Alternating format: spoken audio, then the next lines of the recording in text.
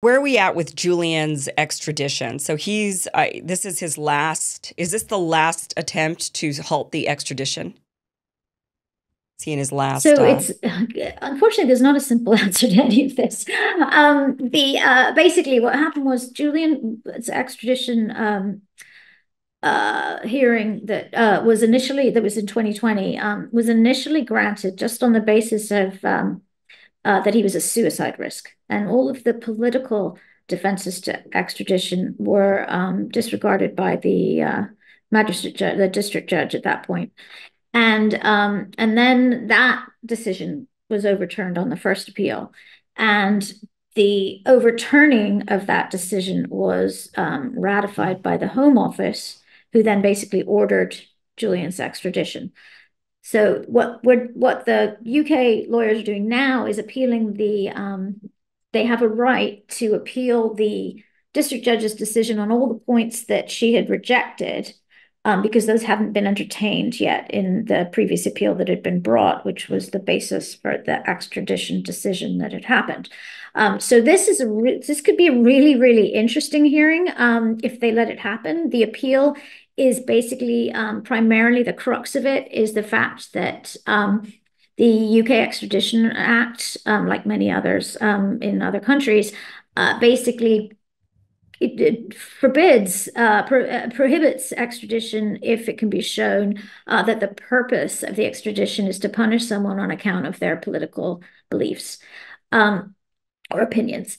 And um, in this case, it's so clear that you know uh, Julian Assange's political uh, mission is to expose war crimes, uh, particularly of the U.S. and U.K. governments, um, and um, although by no means exclusively, and uh, that this is a this is a vendetta. So um, the uh, what happened was in uh, June of this year, a you need to you need to have permission to appeal to the high court.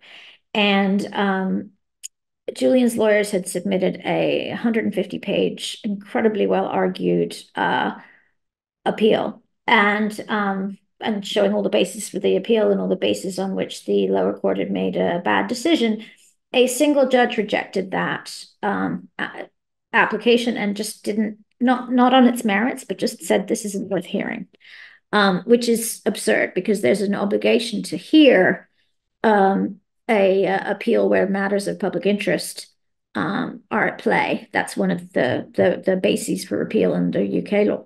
So um, the uh, Julian's lawyers then appealed that refusal to permit the substantive appeal. And that's actually what's happening February 20th and 21st of this year, 2024, there's going to be a hearing, which is really just argument by the, the there's no evidence going to be presented. It's argument by the lawyers for the government and the lawyers for um, Julian Assange uh, to argue why the appeal should or should not be heard in the first place. So if that um, is granted, then the the full on the appeal, if that permission to appeal is granted, then um, and that's going to be heard by two two high court judges mm-hmm. then there'll be a full hearing on the appeal on the substantive points in the appeal down the line um, so the concern is that there, there's just every effort to prevent um, julian from being able to air in an open court all of the um, atrocities that have been perpetrated against him in right. the course of this proceeding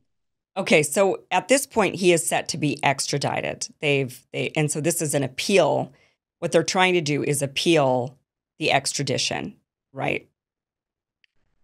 Exactly. At this okay. point, they're getting permission, trying to get a permission to appeal. So if they lose that, yeah. um, he really he could be extradited immediately. And um, there is some hope that there could be an appeal to the um, European court, um, but especially since Brexit, but honestly, even before then, the British government didn't pay much mind to what the European right. court said or did. Right. So um, right. I don't know that that would stay or you know prevent even yeah. temporarily the execution, even if they execution.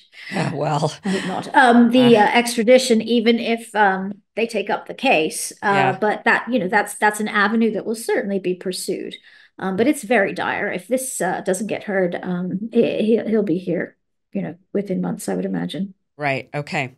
So, um, and then if he does, if they, if the request to appeal is granted, then do we have any idea of how long it takes for that appeal process for the actual hearing, for the appeal itself?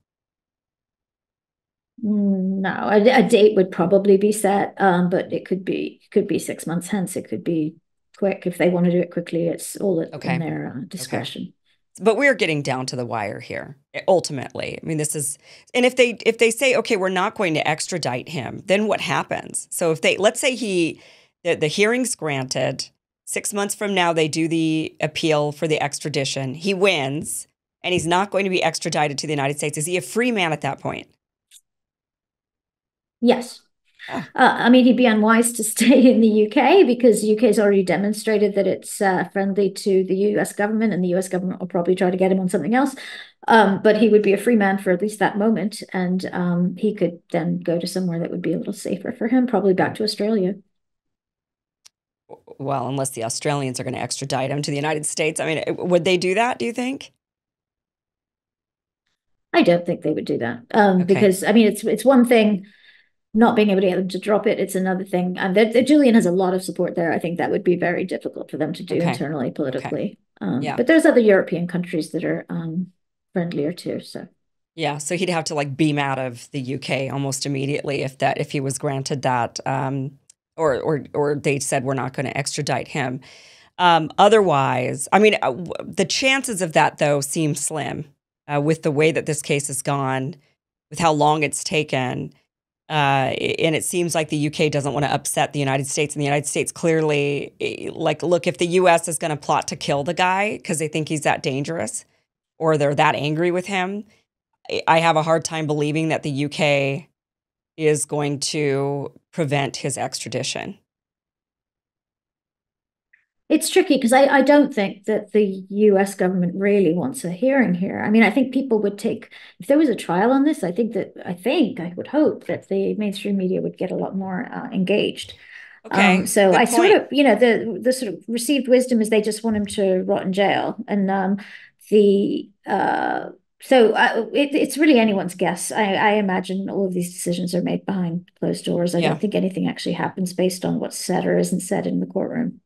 Right. But you bring up a good point. I mean, it's it would be very bad optics for the United States to bring him here and then put this guy on trial, this journalist or this publisher on trial. It would be very it, it, and I do think that at that point there would be an outpouring of support from the media. Maybe not the security state apparatus within the media, but the rest of the journalists, I think, would say, wait a minute, what is going on here? This is a huge violation of our ability to publish documents that were that were given uh, and so there would be, I think, a lot of it would be publicly for the United States uh, very embarrassing and very, very tricky.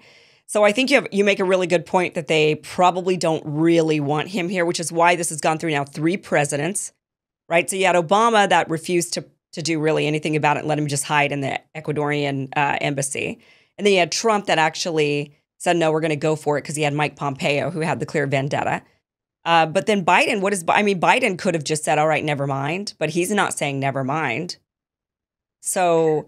Well, we have two wars going on right now that we're actively supporting. Um, so it's uh, difficult to, even for Biden in this environment, to, um, you know, release someone who's so critical of our and exposes uh, U.S.